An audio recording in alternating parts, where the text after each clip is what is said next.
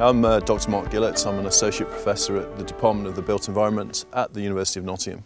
My research and teaching relates to energy use in the built environment. Um, most of the work that I do in terms of teaching is looking at renewable energy systems and energy efficient systems for future building designers to educate them on how to make their buildings more energy efficient. Buildings account for a huge amount of energy use um, globally. Um, they're responsible for a significant proportion of associated CO2 emissions. We all use buildings every day of our lives and it's very important that we understand how that energy is used, not only how it's produced at, uh, at the front end, but also how it's used within the built environment.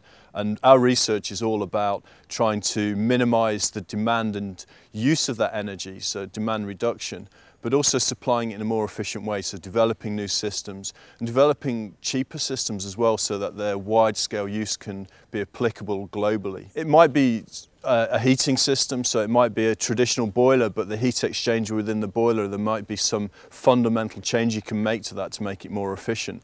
It might be something like a, a, heat pump system where we've investigated different working fluids to increase the performance, the coefficient of performance, the efficiency of the system. We, we use energy for lighting, heating, um, all appliances and you know, not only is it a technological thing, it's also about um, how people behave within the buildings themselves, how we can alter behaviour patterns without impacting on people's everyday lives as well. I think that's a, a key thing so that technology is accepted by the users. The unique thing about the University of Nottingham is we have a suite of experimental research houses, um, right through from right through to zero carbon homes, which is the government's 2016 aspiration in the UK.